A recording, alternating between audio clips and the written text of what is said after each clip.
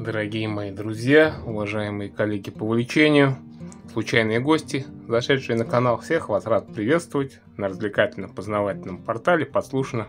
Секреты рыболова». Друзья, сегодня я покажу вам очень простую, но уловистую оснастку для ловли на фидер. Я думаю, что многие, кто ей не пользовался, пользоваться начнут. Многим она понравится. Итак, давайте начинать. Но перед этим небольшая просьба. Друзья, где бы вы меня не смотрели, на каких-нибудь ресурсах в интернете, на разных, на чужих, на моих, обязательно, пожалуйста, переходите конкретно на мой YouTube, на мой Дзен, и там подписывайтесь. Так вы не дадите пропасть моим трудам. Заранее спасибо. Итак, многие из обычных рыболовов, которые занимаются любительской рыбалкой, не спортивной, привыкли использовать вот такие вот пружины вот для ловли карася и другой мирной рыбы. Обычно такие пружины снабжаются двумя, тремя, там, четырьмя крючками. Вот такие вот чудища получаются.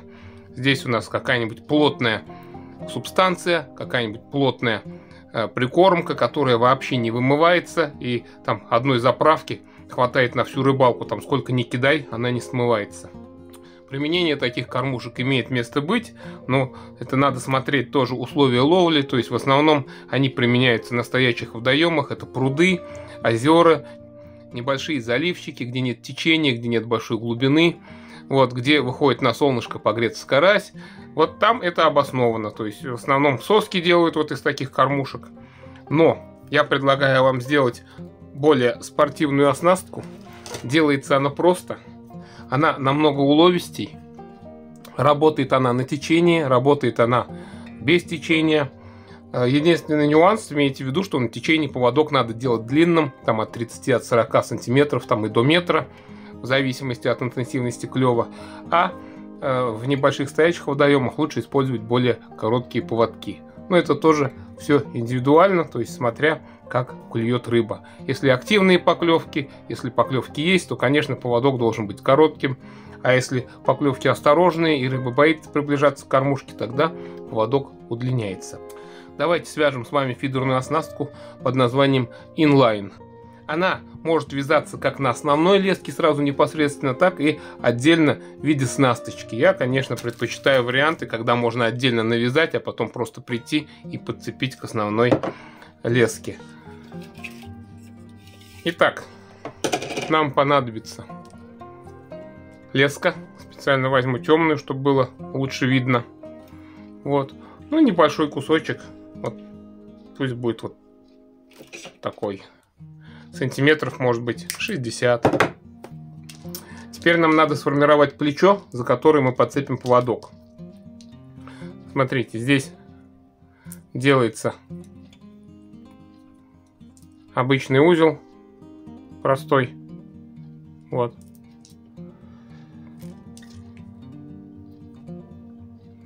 И теперь формируется плечо. Для того, чтобы плечо было упругим и не распускалось, леска скручивается следующим образом.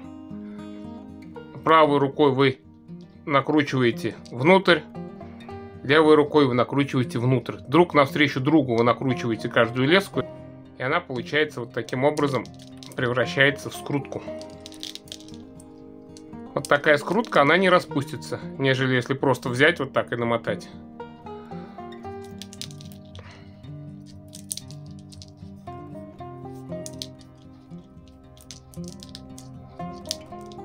Все. Теперь фиксируем. Тоже обычным узлом. Можно двойным. Раз. Два. Вот получили такое плечо.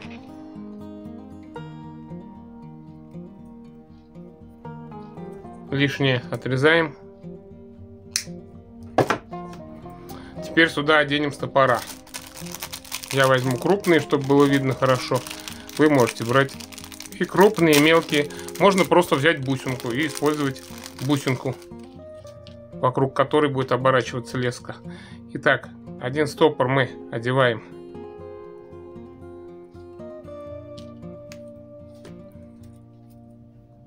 доводим прям до конца.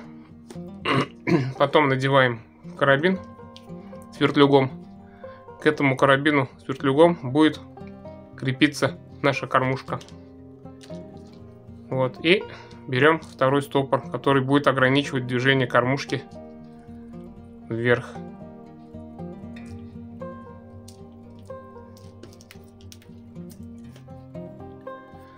Расстояние здесь можно сделать разные. Можно сделать вот так ограничить кормушку, можно сделать более свободный ход. Подцепляем кормушку. Вот так она у нас будет ходить. Все, теперь оснастка наша практически готова. Здесь сверху делаем петлю.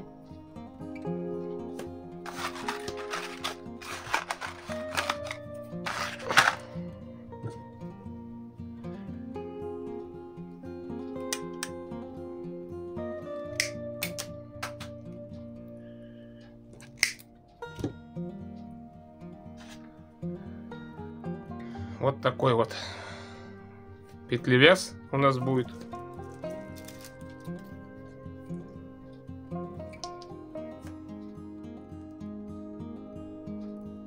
Раз, два. Закидываем сюда. Закрываем и стягиваем. Получаем вот такую вот петлю. Все. Наша оснастка готова. Нам остается взять поводок. Готовый. И подцепить петля в петлю вот сюда.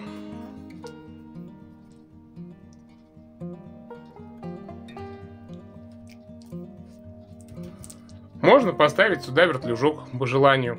Хуже не будет. Все, оснастка готова. Оснастка простая, оснастка чувствительная. Свободный ход вы регулируете, как вам удобно. Путаться при забросе она не будет. Один поводок на тоненькой леске будет гораздо эффективнее множество поводков вот на такой куче кормушек. Используется для ловли на течении, без течения. Вяжите вот такие оснастки, они очень удобные. Их сразу можно прям вот так вот и намотать саму на себя. Вот. Крючок зацепил и убирается в коробочку. И вот так вот у меня лежит в готовом виде навязанные. Надеюсь, информация была полезной. С вас лайк, подписка, а с меня еще больше полезной информации. Всем добра, всем здоровья, всем позитива.